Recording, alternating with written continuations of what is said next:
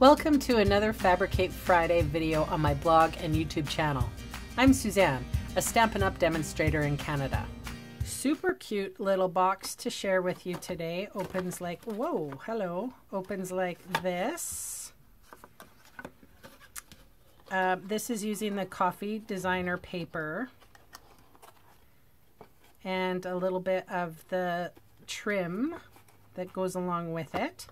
So I thought I would share with you how I made it. I am starting off with a piece of cardstock, nine and three quarters by seven. On the long side, I am going to score at one and a quarter, four and five eighths, five and seven eighths, and nine and a quarter. And then on the short side, I'm scoring at one and a quarter and five and three quarters. Fold and burnish all your score lines.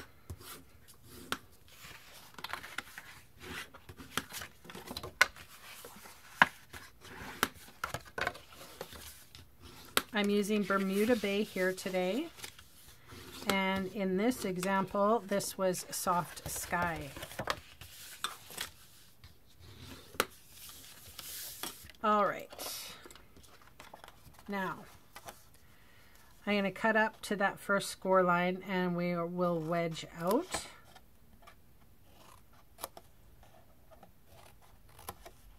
Same with this one.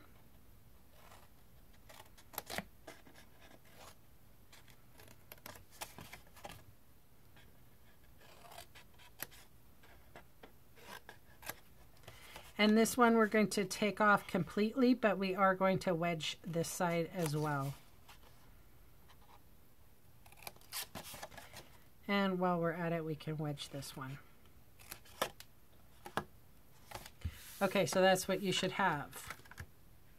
I'll flip it around and do the same thing. Cut up the score line, wedge out, wedge out. Wedge.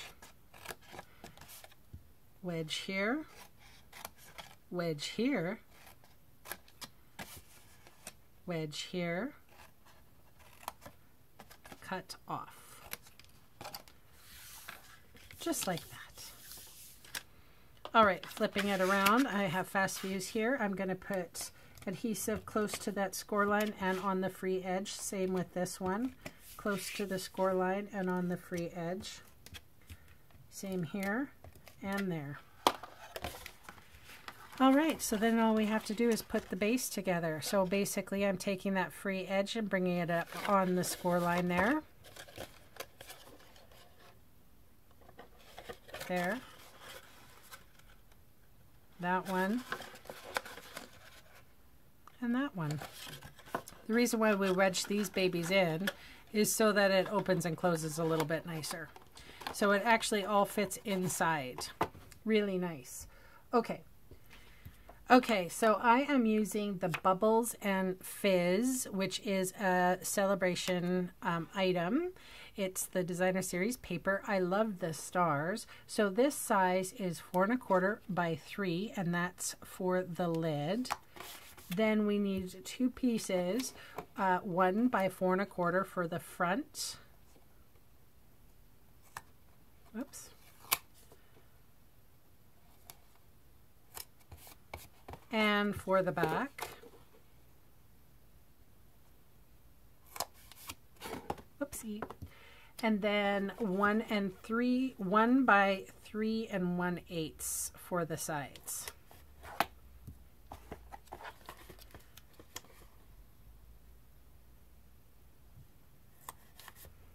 Now I thought I would do the exact same thing that I did with this one and make a pretty little tie a bow around everything. The thing is that I was able to put adhesive along the other one and this one I'm just going to have to wing it.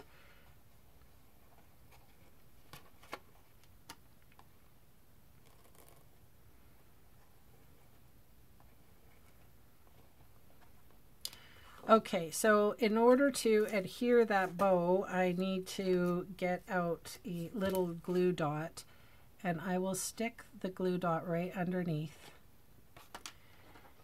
And then I will cut off the excess. So this ribbon actually has a little bit of sparkle to it. So nice. And it is um, with the celebration um, items that you can get for free if you have a purchase of $60 or more in Canada. And then I have a piece of Whisper, and this comes from the Hanging Garden. It says, to one of the loveliest people I know. So I'm going to take my Bermuda Bay.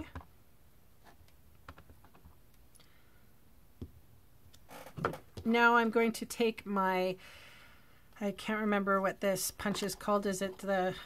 I can't remember. I really should know this punch. I've used it often enough. Everyday label punch, maybe? Okay. So, um, in order to get this little border, this one here, I just took a little extra piece of Bermuda Bay and I'm just going to punch that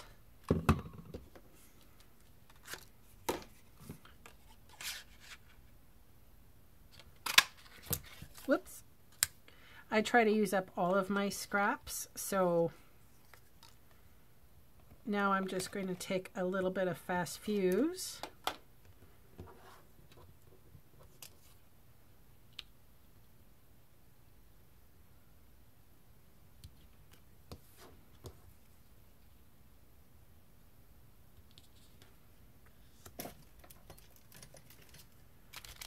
And then with some dimensionals,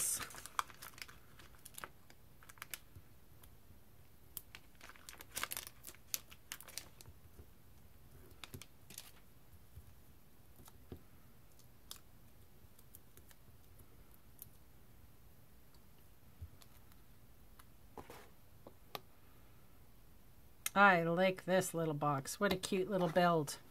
All right, that's my share for today. Thanks so much for hanging, and I'll see you again soon. Bye.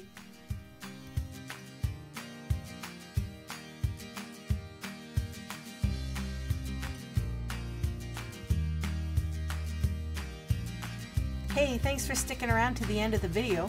On screen are two more videos for inspiration. Click on the maple leaf to visit my website, or click on me to subscribe to my channel. Thanks again for watching.